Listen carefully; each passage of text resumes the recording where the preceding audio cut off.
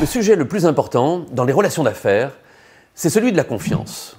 Une relation sans confiance, c'est une voiture sans essence. Vous ne pouvez pas avancer. La relation entre un vendeur et son client est toujours entachée de soupçons. Le client se dit toujours, le vendeur que je reçois va essayer de me vendre quelque chose à tout prix. Il est là pour son chiffre d'affaires à lui, il cherche à défendre ses intérêts et non les miens. Et donc, je dois me protéger de ce prédateur qui en veut à mon argent. Et ce sentiment est notamment renforcé par le fait que le vendeur n'est pas souvent sincère dans sa démarche. Il avance souvent masqué, il utilise de faux prétextes pour attirer à lui ses clients dans ses filets. Un peu comme au souk de Marrakech où le commerçant vous incite à rentrer dans son échoppe avec l'argument suivant Entrez, c'est juste pour le plaisir des yeux. C'est pas pour vous vendre, c'est juste pour le plaisir. Je vous offre un thé. Et en tant que client, vous savez pertinemment que si vous entrez, vous serez ferré et le vendeur ne vous laissera pas repartir sans avoir acheté quelque chose. Et c'est là tout le problème.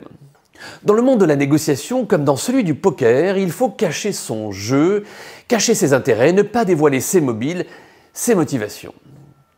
Le vendeur ne se présente d'ailleurs jamais comme un vendeur, mais comme un conseiller commercial, un chargé d'affaires, un consultant, un responsable de compte, un responsable commercial.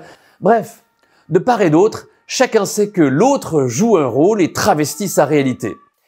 Difficile dans ces conditions de créer un climat de confiance propice à l'établissement d'une relation d'affaires sereine et loyale lorsqu'on sait que l'autre nous ment sur ses intentions réelles.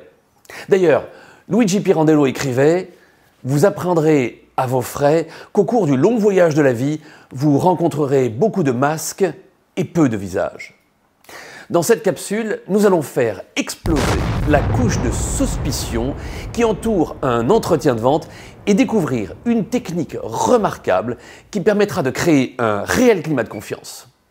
Vous allez voir, c'est simple et diablement efficace.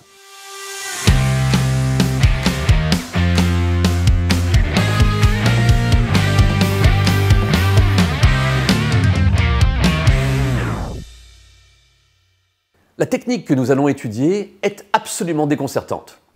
Nous allons tout simplement dire au client la vérité, toute la vérité et rien que la vérité. Nous allons lui dire tout de go que nous sommes des vendeurs ou que nous nous inscrivons dans une démarche commerciale. Autrement dit, nous allons tomber les masques et lui offrir notre vrai visage. De prime abord, la démarche peut faire peur, mais vous allez voir qu'au contraire, elle est extraordinairement libératrice. De fait, le client n'a plus à se méfier de vous, il n'a plus à vous soupçonner d'avancer masqué puisque le masque, vous l'avez retiré pour vous montrer dans votre réalité crue. Cette technique peut s'utiliser en toutes circonstances, au téléphone, en face à face ou en visio. Ça marche et vous verrez que beaucoup de clients vous feront connaître leur étonnement et vous féliciteront. Alors bien entendu, après vos aveux, il vous faudra poursuivre par un discours rassurant pour continuer de briser la glace de suspicion. Voyez les exemples suivants. Bonjour Monsieur Delmas, je suis Mickaël Aguilar de la société Vendeur d'élite. Ma démarche va sans doute vous surprendre, mais pour être parfaitement transparent, mon appel est un appel de prospection. Si vous avez 1 minute 30 à me consacrer, je vous explique l'objet de mon appel. Si vous trouvez ça intéressant, eh bien, on programme un zoom d'environ 12 minutes. Et si vous ne trouvez pas ça pertinent pour vous, eh bien, je vous aurais fait perdre 1 minute 30. Qu'en dites-vous? Au début d'un entretien de vente. Merci d'avoir accepté ce rendez-vous. Je vous propose l'agenda suivant si vous en êtes d'accord. Je vous propose de commencer par des présentations réciproques. Ensuite, je vous poserai quelques questions pour identifier vos objectifs et vos enjeux. Je vous ferai une démonstration de notre solution et puis je répondrai à vos questions. Et enfin viendra le moment de vérité pour moi, puisque je vous poserai en fin d'entretien la question fatidique, à savoir est-ce que vous avez été convaincu de l'intérêt pour vous de cette solution et est-ce que vous avez envie de l'adopter? Est-ce que cela vous convient comme programme? Ou encore, je suis très heureux de faire votre connaissance. J'avais très envie de vous rencontrer parce que je suis intimement convaincu que la solution que je vais vous proposer va vous permettre de gagner beaucoup de temps et va vous permettre d'atteindre plus vite vos objectifs. Et je ne vous cache pas que je me suis fixé un petit challenge à moi-même avant de vous rencontrer. Mon objectif, eh c'est qu'à l'issue de notre entretien, vous me disiez que je vous ai convaincu de l'intérêt pour vous de cette solution et que vous avez envie de l'adopter. C'est mon défi et je sais bien qu'il y a un risque que j'échoue, mais c'est cela le plaisir du jeu. Et j'en accepte l'augure. Un jour, J'ai même rencontré un vendeur d'élite que j'ai accompagné dire à son client Mon objectif, ce n'est pas que vous deveniez simplement notre client.